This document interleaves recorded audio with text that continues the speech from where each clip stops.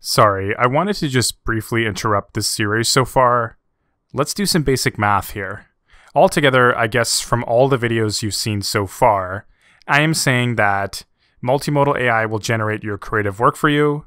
It will allow you to potentially make your best, highest quality work ever without a team, minus saving you from having to learn hard skills like Adobe Illustrator or Blender all of this will be multiplied by the fact that your work will be generated pretty much instantly in real time.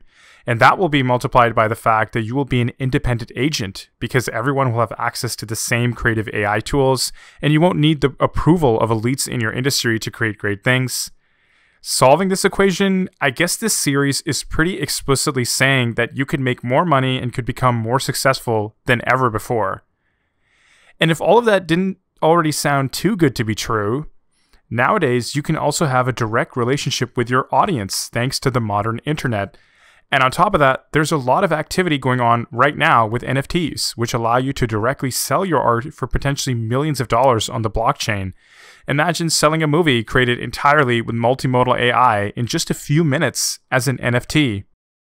If all of this ends up happening, and it's a big if, don't get me wrong, for artists, this might be the greatest era in human history, like ever.